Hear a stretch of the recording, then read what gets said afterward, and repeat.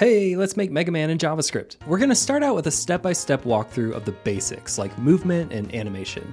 Then I wanna skip ahead and show you some nuanced Mega Man features I made by continuing these concepts in a demo. I'm gonna move pretty quick here, but don't worry, the full code's available at the end. Let's get to it. We'll create a new project with Vite, so here's the command.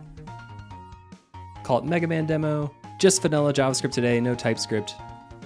We'll cd into that, run npm install, npm run dev to get it going locally, and here we go. Now here I've deleted all of the default stuff that comes with Vite, so we have a totally blank project. There's nothing going on in the browser over here. For this project, I'm gonna pull in Excalibur.js. Excalibur is a fantastic open source 2D HTML5 game engine. It comes with things like physics and asset handling. Physics and platformers can be really complicated, so we're gonna offload that to Excalibur. Thank you, Excalibur. Back in our terminal, I'll install Excalibur by doing npm install Excalibur, and now we're ready to go. Now the top level everything of this game is going to live in main.js. So let's start by bringing in the Excalibur library, importing everything it has as EX, and I'll start with an instance of a game. Now we'll configure the game with a resolution that looks like an NES, so 256 by 240.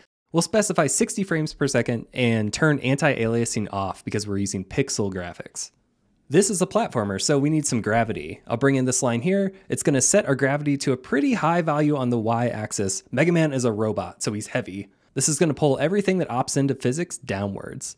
Speaking of Mega Man, we need to pull in some assets here, like sprite sheets and sound effects. I'll make a new file called resources.js. This file is going to create some image and sound sources out of files that I've pre-prepared. So I've got a Mega Man sprite sheet. Lemon is what fans call Mega Man's bullet. Three different map rooms we'll be implementing, a couple enemies and explosions, and some other graphical effects here. We have sound effects for landing, shooting, and taking damage. We're going to package all those things into a loader. Loaders are the way Excalibur handles assets. So we'll export that loader and our images and sounds from this file. Back in main.js, we can import our loader. And now that we have the assets, we can start the game. Now our game is running over here. You can see our aspect ratio is working, but the game itself doesn't look like much. So let's add some things. I'll make a new file here called hero.js. That's going to create a class called hero that extends excalibur.actor, and we're going to see this a lot. Actors in Excalibur are kind of like game objects. We're going to be able to configure each one with a position, a size, a collision shape, and graphics. There's a couple values we're going to be using over and over and over again, so I've plopped those into a constants.js file. I've configured the hero actor with a couple values here. There's a position, a size, a collision shape. We'll scale him up by 2x, opt into gravity here, and show him as just a green box. Back in main.js, we can create a hero. We'll start him at say 200, 200. We'll grab our game instance and add an actor. Now when the game starts, you see our actor appears and he just falls because he's opted into gravity. Let's give him something to land on. I'll create a new type of actor called floor. This floor actor has almost all the same ideas. A couple differences. We're giving it a name just because you can. A multiplier for columns and rows in case we don't want to stick with just a square box. This actor will use a fixed collision type to keep it right in place, and a solid black color. Now, typically these will be invisible because we have real art to use, but for debug purposes, we can just turn on opacity. Now we can add that floor to the game. Now the hero lands right on the floor. Let's make this actually look like Mega Man.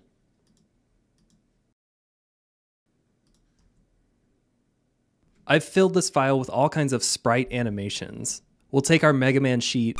We want to tell Excalibur how many columns and rows that sheet is divided in, and how big each cell is.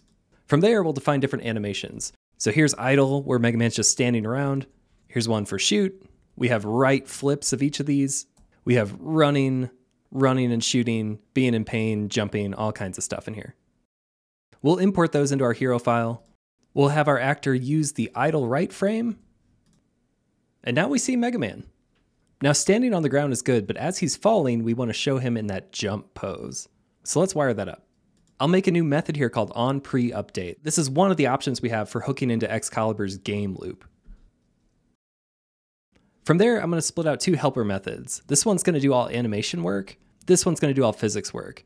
Physics in Mega Man games gets complicated, and this is going to get crazy. So having a dedicated home for it is going to help us manage it. We'll add a flag to know if we're on the ground or not. We can update that flag in our physics process. If we are suddenly moving in the y axis, we know that we're not on the ground. We'll make a method for handling collisions. We'll hook into post collision and check if we just collided with the floor on the bottom. And if that happened, now we know we're on the ground. In our animation code, we can check if we're not on the ground, and if so, we want to show the jump frame at index zero. And if that's not true, we can go ahead and assume the idle pose.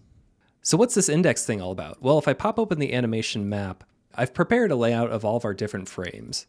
For each pose, like idle, jump, pre-step, run, all these things, we're gonna have a left facing one, a right facing one, a shooting version on the left, and a shooting version on the right. So if I want to play with which way he's facing, I can change that to one. Maybe he's shooting on the left. Maybe he's shooting on the right. Go back to one. Now to make him jump on our command, I'll bring in some shortcuts to have access to the keyboard. We'll create a jump key. I'm going to call that Z, but you could use whatever you want. In our physics code, I can check if we're on the ground. And if we are, and we just press the jump key, we'll go ahead and set the y velocity to the jump velocity. This is saved as a constant. If we want to play around with the jump speed, we can just tweak that value. We'll also check if we release the jump key and we're moving upwards.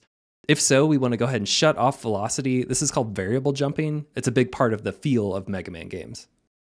Over here, when I press the Z key, I can jump Mega Man. It only works when he's on the ground, and when I release, he stops jumping.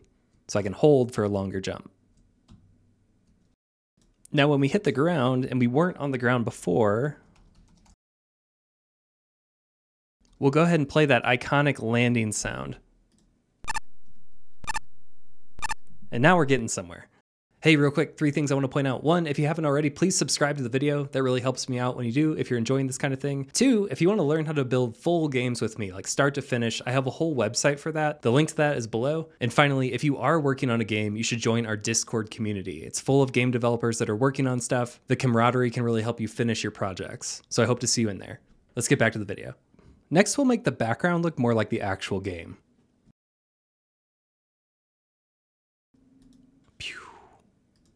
We're going to put Mega Man here in a stage, and each stage is composed up of individual rooms. In the classic Mega Man games, there were eight stages, and you could play through them in whatever order you wanted. It was really cool, really iconic. We're just going to do one stage here for now, and that stage is going to have a couple different rooms. Now, each room is going to have an XY position, an image that's used. Instead of a tile set or something like that, we're just going to use one baked image per room. Different floors that we stand on, just like we see here, other objects in the rooms like ladders, enemies, pickups, that kind of thing. And finally, camera limiting, and we'll get to that as we go. Whatever image is passed in, we'll convert it to a sprite and then have this actor use that sprite. When a map joins the game, it's going to dynamically create all of the floors it needs and all of the objects.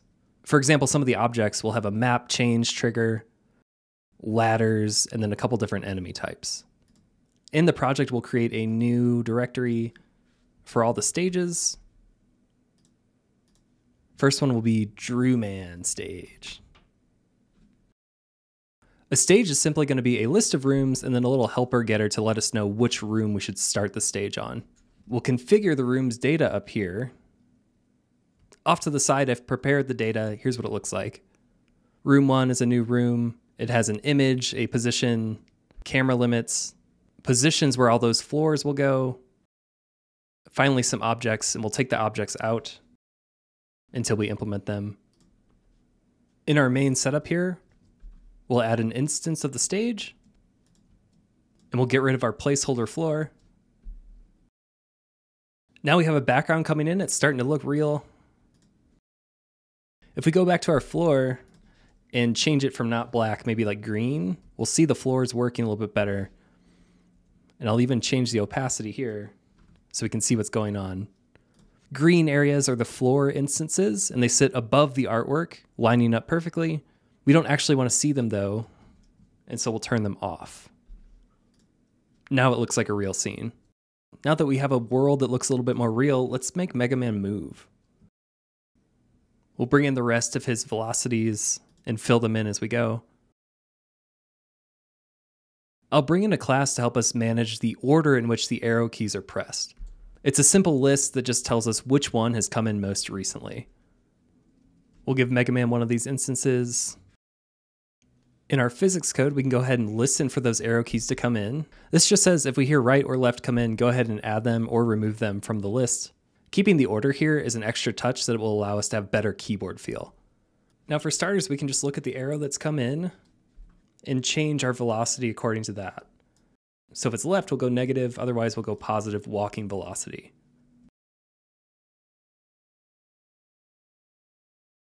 And here's that working. We can also sync our sprite direction to whatever direction has come in in our arrow handler. And in our animation code, remember how we have one hard coded here? We could change that to be dynamic. Now he'll face whatever way we're going. His running animation is a little bit nuanced, and so I'm going to add a custom flag here. Now, as we're moving, we'll go ahead and work through those running frames. So this variable here is kind of his progress through the animation, and as he's moving, we're going to be down downticking it by however much delta time has passed. And then if we hit zero, we'll go ahead and restart it to the top we can offload the exact frame that should be showing to this helper method. And in our animation code, if we're on the ground and moving, we can go ahead and delegate over to that method. And now we have this nice walking animation happening. One more thing, and then we're going to skip ahead a little bit. So I can keep walking over this way. And there's actually a lot more to see over here, but the camera's not following Mega Man. So let's fix that. So now before we start the game, we're going to add a listener. And once the game's initialized, we can go ahead and reach for a camera that's baked into Excalibur. So here's our line of code. I'm going to move this to a different spot. We're going to try the default camera to just see how that looks. It locks to actor, passing in the hero, which is the object that we want to follow. Now the camera follows Mega Man, and I can walk around to see more of the room. Okay, now that we've covered the basics on how everything has worked to this point, I want to skip ahead and show you the full demo that I made. We're not going to cover the features as closely in depth as we did before in the video, but we'll definitely crack open the hood and show you the interesting parts. And remember, you can check out the full code download for this in the description. So the first thing is shooting. So if I hit the X key here, you can see Mega Man goes into the shooting pose. He does the same thing when you're in the air. Another key thing about the shooting is that the running animation really has to line up. So if he's in the middle of the running pose, we want to make sure his arm sticks out and matches up perfectly. Let's take a look at that. So two spots in the physics code, there's this line for check for shoot input. That's basically just going to listen for the X key to be pressed. If so, the action will move to the shoot bullet method. The core of what's happening here is that the hero is spawning a new actor, and that's the bullet. And then based on the position of whether Mega Man's facing left or right, it kind of changes where the bullet spawns in the scene. So if he's facing left, it'll be on the left part of the sprite here, and then opposite for right. Also have that cool classic sound effect that's playing, gotta have that. If we open up Hero Bullet and see what's going on here, again, it's affectionately called a lemon by Mega Man fans. The bullet just initializes with a collision shape and the sprite, and that this these dimensions kind of match the sprite. When they start, they really just pick whatever direction they're going, which is passed in by the hero, and they just kind of continue on in that direction. There's a chance they could get deflected by a certain enemy, and we'll see that in a little bit. So that's bullets. Technically, I think Mega Man's only supposed to be able to do three at a time, but I, I have it being unlimited right now. If I wander over this way,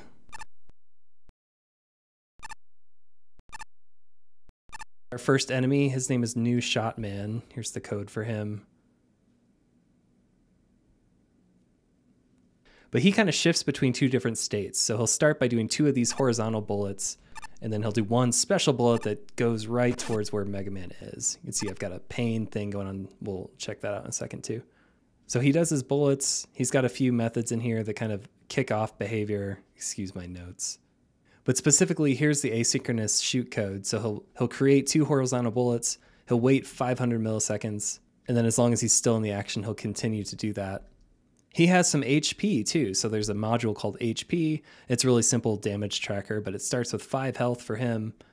I can hit him five times, two, three, four, and on the fifth time, he'll explode. You can see in the code that he starts with five, and then whenever he reaches zero, this callback will happen. And that callback just creates a new explosion right in his place and then removes him, but adds the explosion at the same time. So that's kind of a cool little transition. Now, I want to talk about damage real quick because we saw it for a second there. I've wired up a temporary developer demo key to just have Mega Man automatically take damage. So if I press the space bar, you can see uh, he takes a lot of damage from his health bar. There's this top level module here called Hero HP, and it starts with a count of 28. Max HP is 28. Anytime Mega Man takes damage, he emits a signal up to the Watcher, and that Watcher might subtract from the total number. If he ever hits zero, uh, the death handler occurs. And so let's see what that looks like. So I'll do it one more time. He explodes that way. And now the level's over. You have to reload the page. Now a little bit later on in the level over here, we can see a new thing.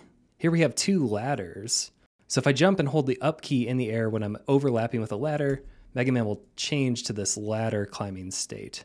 And if I get all the way to the top, he'll do this little transition and you can you can go down to if you're standing on top of a ladder these things are shockingly complicated, but you can see that he can still shoot from a ladder, and then he can jump to to exit the ladder.